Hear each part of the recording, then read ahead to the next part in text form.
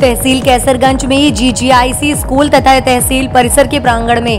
उप जिलाधिकारी कैसरगंज पंकज दीक्षित एवं अधिशासी अधिकारी नगर पंचायत कैसरगंज शिवम द्विवेदी एवं तहसील व नगर पंचायत के समस्त कर्मचारी के साथ श्रमदान करके स्वच्छता का संकल्प लिया गया। उप जिलाधिकारी कैसरगंज पंकज दीक्षित ने लोगों से आह्वान किया कि सभी लोग अपने आसपास मोहल्ले, दुकान, सड़क को, जिससे हमारा मानव जीवन बेहतर होता है और अच्छे वातावरण में जीने का पूरा आनंद मिलता है।